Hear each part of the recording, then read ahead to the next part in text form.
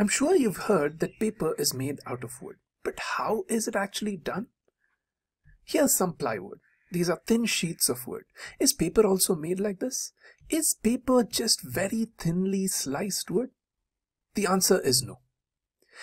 There's a long process by which we turn wood into paper. Let's dive into the process. Let's get to step one. Step one involves making what we call as wood chips. Here's wood. We turn this into wood chips. How do we do that? We first wash the wood, remove the bark from the wood, and then after that we chop it into small pieces and this is what we get. This is called wood chips. These wood chips are then turned into what we call as pulp. Let's see how that's done and how it looks. So what we do is we boil this wood with water and chemicals and then we add color if we want the paper to be let's say black color we add black colored black colored dye. If we want it to be white we add white colored dye and then we get this mixture. This mixture is called pulp.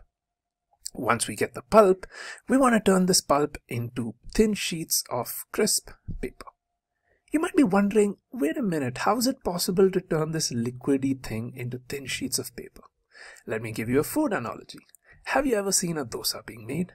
Have you ever wondered how that thin batter turns into a crispy dosa? Well, it's because of the hot tawa. We're going to do something with this pulp that's very similar to the dosa. So what we're going to do is called drying. Now we don't have a tawa to dry this uh, pulp. What we're going to do is we're going to run it through two hot rollers. So here's one roller, here's another roller. These are hot rollers and this will dry out the pulp and make it into a thin sheet. Once we've gotten a thin sheet, what we're going to do is roll it into rolls of paper. This is how a roll of paper looks like. And in many factories, this is the end of the production and this roll of paper is sent to smaller shops where it is cut into required sizes. Some factories decide to cut the paper in the factory itself. Let's try to see how that's done. The next step is cutting. So this roll of paper is then sent through a cutting machine. Let's zoom into this cutting machine. Can you see the blades there?